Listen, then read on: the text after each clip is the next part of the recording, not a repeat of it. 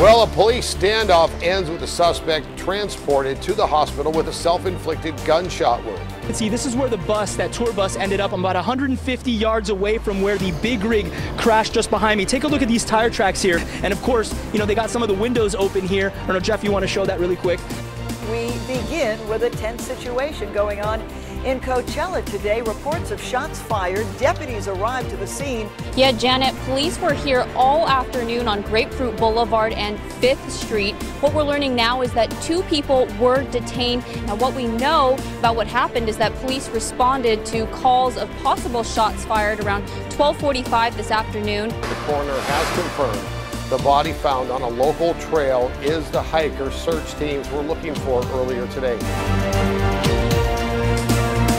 I'm here at Sacred Heart Catholic Church in Palm Desert where the funeral services for Mrs. Sinatra will begin at 2 p.m. It is open to the public. The uh, casket is making, making its way inside the church uh, where the uh, funeral services for Mrs. Sinatra will be beginning here at 2 p.m.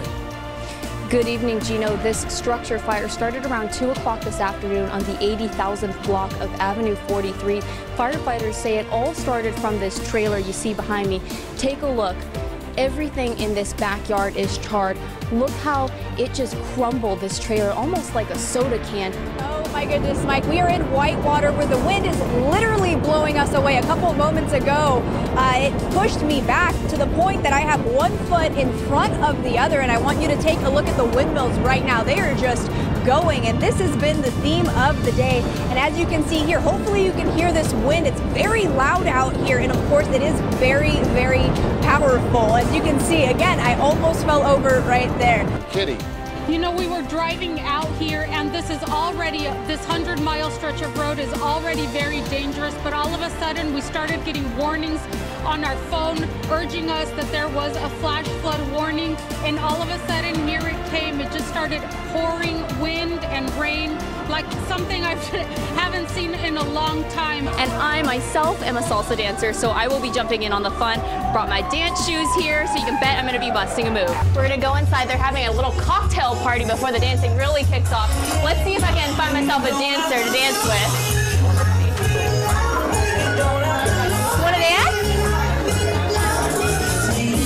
Live in Palm Springs. I'm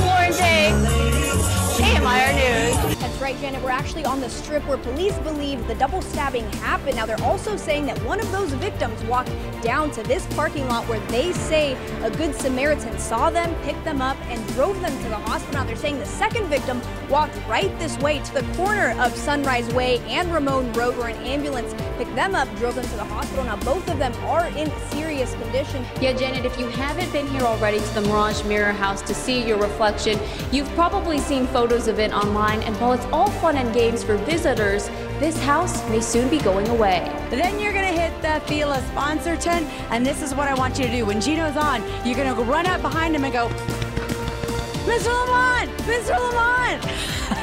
do something just like that when he's on TV. and stay tuned as I have security remove Ginger Jeffries. All that and more coming up live from the Indian Wells Tennis Garden.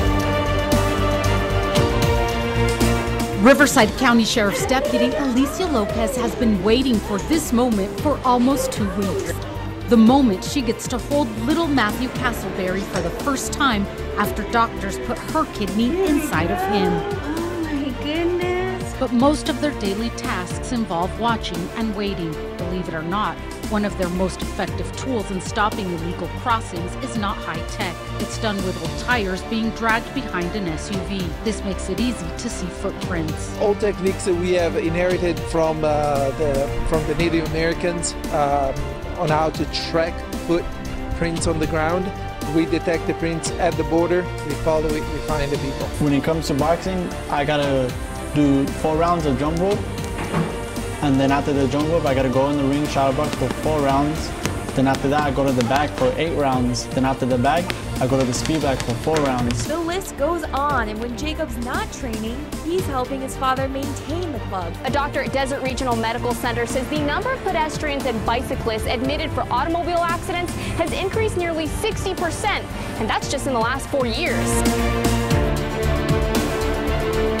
Take take a look at this evening. One of our photographers extraordinaire, Jeff, yes, capturing just the beauty of the Coachella Valley by evening, or at least as the sun is going down. As far as uh, this picture, Coachella Valley TV photog Jeff Sargent took this picture. Of course, just kind of shows the weather story of the day.